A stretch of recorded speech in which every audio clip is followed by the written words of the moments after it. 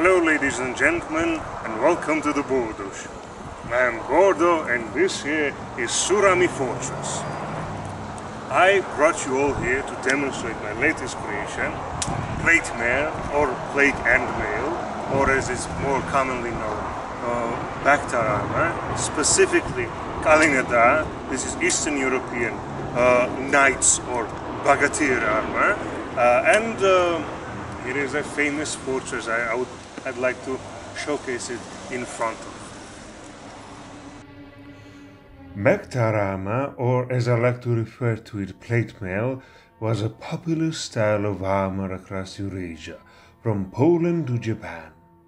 For some reason, it didn't catch in Western Europe, being overshadowed by West's favorite plate armor, which evolved into its own tradition of armor crafting in later years. We, of course, associate armor with European knight, and this is Eastern European version of knight armor used by Polish, Balkan, Georgian, and and the Bogatyrs who famously protected Kiev from evil barbarians. As you can see, history repeats itself. Uh, same uh, barbarian horde with their magic dragons or atomic bombs or whatever attacking uh, and invading uh, holy city of Kiev and uh, Bogatyr's brave heroes, even from Georgia, famous the Georgian Legion, um, are fighting to protect it. So, in that spirit, I really like to know, dedicate and showcase the armor. Funny enough, those invaders spread this style of armor from Middle East to Central Asia, popularized by Mongols, Persians, and Turks in the Middle East, traveled through Arab world into the North Africa, it spread to South Asia, in India, Southeast Asia with Philippines, and even to East Asia like Japan. And of course even to Caucasus, Eastern Europe, Central Europe and the Balkans. This here castle was built multiple times and it but every time the keep was rebuilt, in few years the fortress would crumble into ruin. Uh, nobody knew why this uh, castle uh, never stood its ground more than a few years. And one day, one famous um, knight or hero or champion decided to sacrifice his life and entomb himself in this castle uh, because some weird witch told him only way uh, this castle would stand if you sacrifice your life. So the mad lad willingly sacrificed his own life and buried himself into the foundation, knowing that his sacrifice would protect his homeland. It's a tragic tale of self sacrifice and how our nation stands on those young men who put their lives into the foundation of our nation.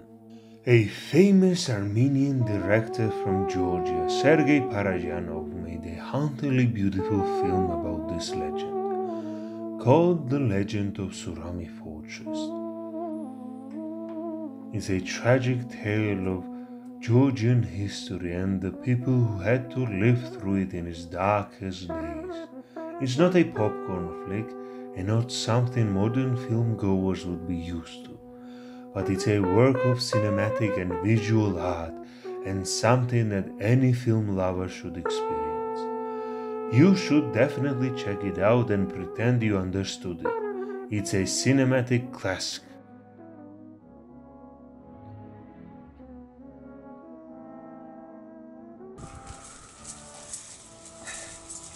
To me, this type of armor symbolizes the true face of Eastern European knight. Both societies are based on similar fundamentals of Christian virtues and chivalric ideals. But unlike Western and Northern Europe that only had to squabble amongst one another, us Eastern Europeans had to face up unstoppable barbaric hordes and insurmountable imperial domination.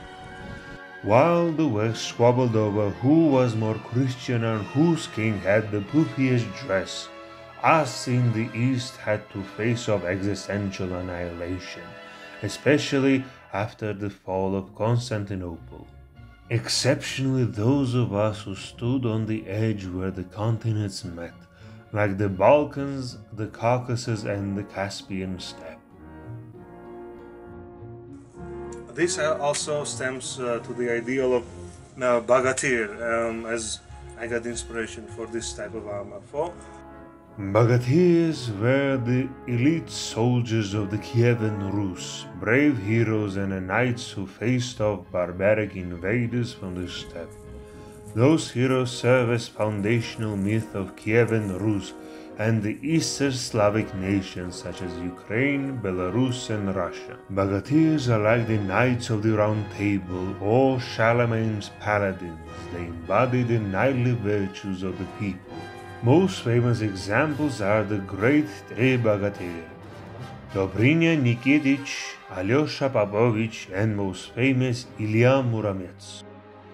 These semi-mythical heroes are Druzhina of the King Vladimir I of Kiev, are the knights of the King Arthur, but in some aspects they overshadow the king himself.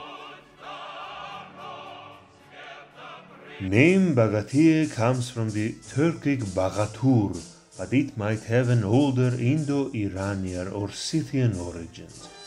It means a hero or a brave warrior. Word spread to people they came in contact with, like Georgian named Bahadur or familiar named Bagaturia, and many others. Funny how Slavic heroes are named after their greatest enemies. Keyword here being Bog, meaning God. It's like the later version of demigod hero from classical Greek mythology or Georgian Devgmiri. Being from post-Soviet bloc, I grew up on those heroes, particularly film about Ilya Muromets being my favorite. That's where I was inspired to make this armor, to embody the heroes of old in these very difficult times. I feel like the mythic tale is being replayed in the modern age. New city stage, but the place and the story is the same. Now Russia is in the role of the barbaric despots attacking Kiev, and once more heroes of Ukraine and all its allies are gathering to protect it. In the tale, uh, Kiev, heart of the Kievan Rus, is being besieged by barbaric invaders. A crippled peasant is cured of his ailments and travels to the capital to do his duty as a bogatyr and protect it from evil. It's funny how many things line up. First, Ilya battles Solovey Razboinik, who kills people with his powerful whistle whirlwind. Now we have Solovyov, a soulless propagandist who blows hot air.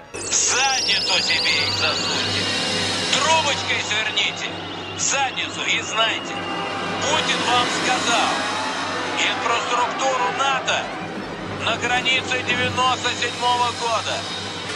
Ядерное оружие в те страны, которым оно принадлежит. И если вы считаете, что мы остановимся на Украине, подумайте 300 раз. The resemblance is uncanny. Then, a ghoulish golem of flesh a pagan There are so many pussies around your presidential campaign on both sides that I prefer not to comment on. We also have a thieving army, corrupt despotic leadership, greed and malice running through their souls, soldiers treated as worthless meat, massive but useless army, cruelty and lack of human value. constant threats of powerful weapon of mass destruction. Выпускай Змей Горыныча в дым, пепел, прах Киев!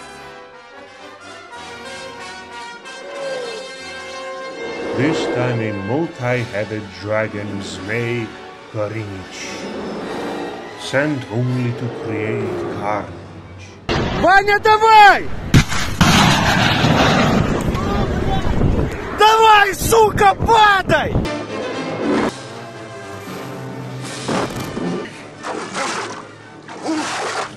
Ну-ка, меч, младенец, не гнись, не тупись! Эй, Горыныча! Никогда! не пойду больше к Киеву. Вы оставьте Тугар мне хоть на семена. Ой, богатырь, не спеши! Весь народ судить должен Калина. Отвезти его в Киев живком. Чтоб собака не сбежал, сажай его в пуля каянного.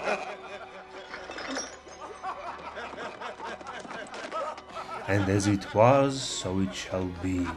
Justice shall prevail, and all will be good once more.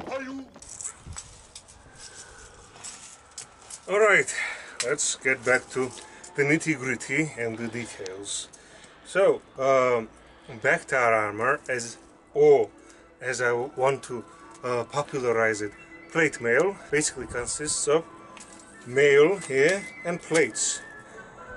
Uh, older styles of armor either had plates um, on top of mail or uh, only mail or only plates. This combines both parts to create a more elastic, less uh, heavy because you would imagine wearing plate armor and uh, mail uh, would be quite exhausting and hot and bothersome uh, and encumbersome. This co combines these uh, two bits to create a more flexible, uh, it's not as flexible as chainmail of course, basically it improves both parts of more flexible than plate armor and more sturdy and resistant to damage uh, than mail because as you all know piercing weapons uh, such as this go through mail quite easily. And the plates basically uh, play a part in stopping piercing weapons most common Behter armor covered only part of the chest and all of the back, and it was mostly mail. Some others were actually more plate than mail. Also, the size of the plates varied a lot as well. There are two types of uh, Behter or plate mail construction, which is one, uh, this type of uh, layered, uh, like scale armor, layered plates, which uh, gives you far better protection. It's far uh, less easy to get through the plates than uh, when you're dealing with scale.